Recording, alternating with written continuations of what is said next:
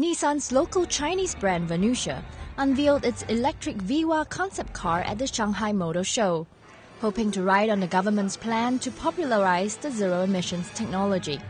Viwa is a concept electric car we want to provide for more people to use in the future. Therefore, its distance per charge should not be a concern for consumers, and it must be affordable after government subsidies. China has been aggressive in its push to get EVs on its road to address the country's air quality, but take up has remained slow.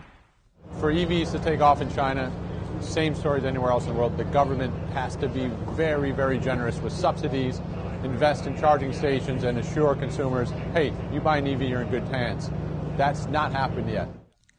EV pilot programs are underway in 25 Chinese cities, and the government plans to utilize the trial feedback in the national strategy.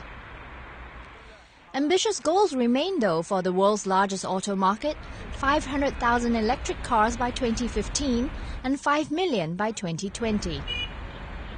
Uh, it's still in a nurturing stage. We, together with the government and power suppliers, will work on various aspects to create the environment and make it commercially viable.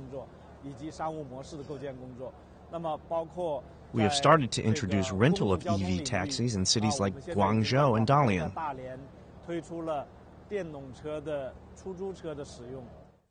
It's still early days for China's electric dream, but big bets are down on the technology to succeed, while Venucia hopes to lead the charge when it does.